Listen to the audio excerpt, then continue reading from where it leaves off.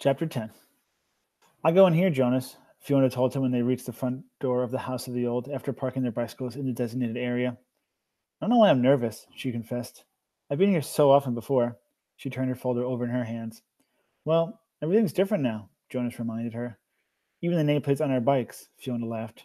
During the night, the nameplate of each new 12 had been removed by the maintenance crew and replaced with a style that indicated citizen in training. I don't want to be late, she said hastily and started up the steps. If you finish at the same time, I'll ride home with you. Jonas nodded, waved to her, and headed around the building toward the annex, a small wing attached to the back. He certainly didn't want to be late for his first day of training either. The annex was very ordinary. It was door unremarkable. He reached for the heavy handle, then noticed a buzzer on the wall, so he buzzed instead. Yes? A voice came through a small speaker above the buzzer. It's uh Jonas. I'm the new I mean come in. A click indicated that the door had been unlatched. The lobby was very small and contained only a desk at which a female attendant sat working on some papers. She looked up when, when he entered. Then, to his surprise, she stood. It was a small thing, the standing, but no one had ever stood automatically to acknowledge Jonas's presence before. Welcome, receiver of memory, she said respectfully. Oh, please, he replied comfortably, uncomfortably. Call me Jonas. She smiled, pushed a button, and heard a click that unlocked the door to her left. You may go right on in, she told him. Then she seemed to notice his discomfort and to realize its origin. No doors in the community were locked, ever. None that Jonas knew of, anyway. The locks are simply to ensure the receiver's privacy because he needs concentration, she explained. It would be difficult if citizens wandered in looking for the Department of Bicycle Repair or something. Jonas laughed, relaxing a little. The woman seemed very friendly. It was true. In fact, it was a joke throughout the community that the Department of Bicycle Repair, in an unimportant little office, was relocated so often that no one ever knew where it was. There was nothing dangerous here, she told him. But, she added, glancing at the wall clock, he doesn't like to be kept waiting. Jonas hurried through the door and found himself in a comfortably furnished living area. It was not unlike his own family unit's dwelling. Furniture was standard throughout the community practical, sturdy, the function of each piece clearly defined a bed for sleeping, a table for eating, a desk for studying. All of those things were in this spacious room, though each was slightly different from those in his own dwelling. The fabrics on the upholstered chair and sofa were slightly thicker and more luxurious. The table legs were not straight like those at home, but slender and curved, the small carved decoration at the foot. The bed, in an alcove at the far end of the room, was draped with a splendid cloth embroidered over its entire surface with intricate designs. But the most conscious, conspicuous difference was the books. In his own dwelling, there were the necessary reference volumes that each household contained a dictionary and a thick community volume which contained description of every office, factory, building, and committee, and the book of rules, of course.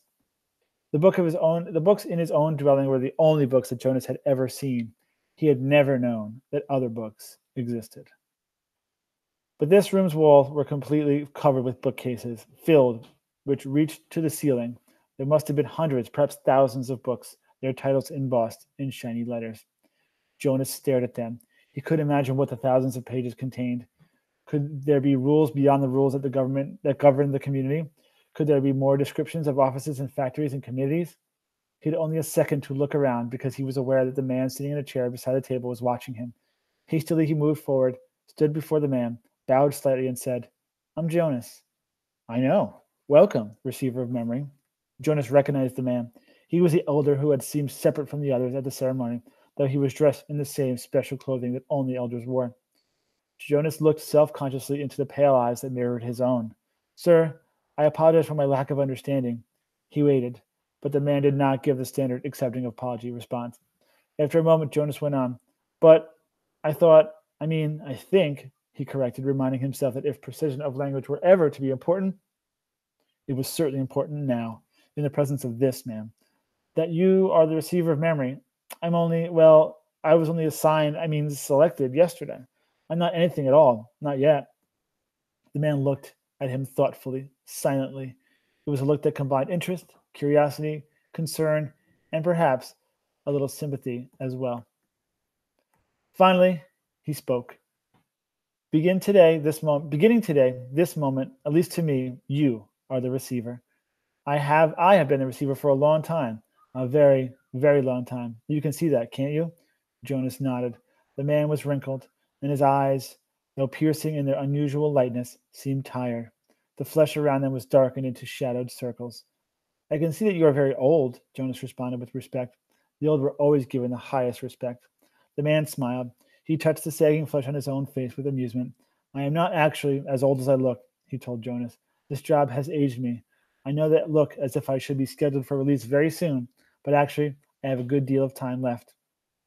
I was pleased, though, when you were selected. It took them a long time. The failure of the previous selection was 10 years ago, and my energy is starting to diminish. I need what I what strength I have remaining for your training. We have a hard and painful work to do, you and I. Please sit down, he said, and gestured toward the nearby chairs. Jonas lowered himself into the soft, cushioned seat. The man closed his eyes and continued speaking. When I became a 12, I was selected, as you were. I was frightened, as I'm sure you are. He opened his eyes for a moment and peered at Jonas, who nodded. The eyes closed again. I came to this very room to begin my training. It was such a long time ago. The previous receiver seemed just as old to me as I do to you. He was just as tired as I am today. He sat forward, suddenly opened his eyes, and said, You may ask questions. I have so little experience in describing this process, it is forbidden to talk of it. I know, sir. I have read the instructions, Jonas said. So I may neglect to make things as clear as I should, the man chuckled. My job is important and has enormous honor, but that does not mean I am perfect. And when I tried before to train a successor, I failed. Please ask any questions that will help you. In his mind, Jonas had questions a thousand, a million questions, as many questions as there were books lining the walls, but he did not ask one, not yet. The man sighed, seeming to put his thoughts in order. Then he spoke again. Simply stated, he said, although it's not really simple at all. My job is to transmit to you all the memories I have within me, memories of the past. Sir, Jonas said tentatively, I would never be very interested to hear, I would be very interested to hear the story of your life and to listen to your memories. I apologize for interrupting, he added quickly. The man waved his hand impatiently. No apologies in this room. We haven't time. Well, Jonas went on, uncomfortably aware that he might be interrupting again. I am really interested. I don't mean that I'm not, but I don't exactly understand why it's so important. I could do some adult uh, job in the community, and in my recreation time, I could come and listen to the stories from your childhood. I'd like that, actually, he added. I've done that already in the House of the Old. The old like to tell about their childhoods, and it's always fun to listen.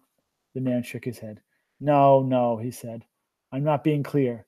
It's not my past, not my childhood that I must transmit to you. He leaned back, resting his head against the back of the upholstered chair.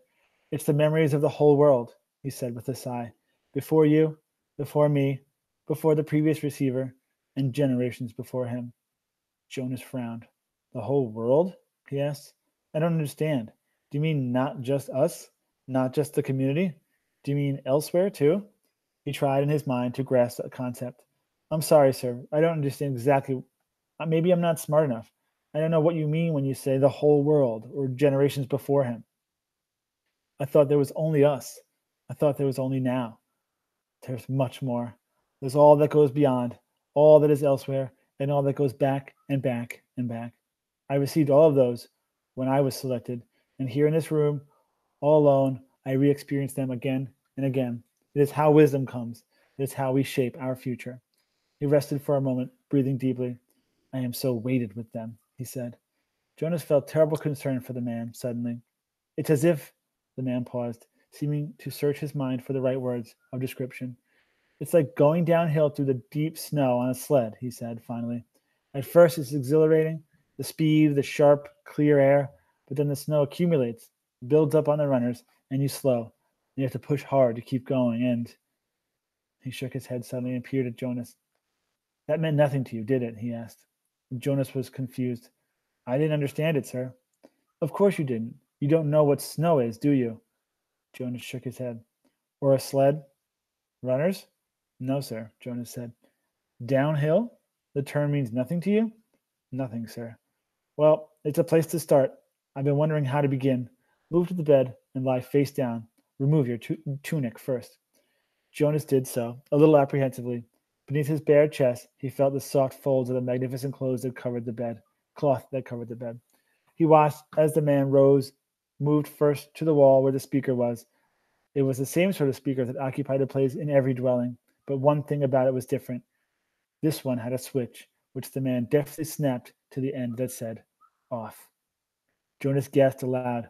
To have the power to turn the speaker off, it was an astonishing thing. Then the man removed his, with surprising quickness to the corner where he bet the bed was.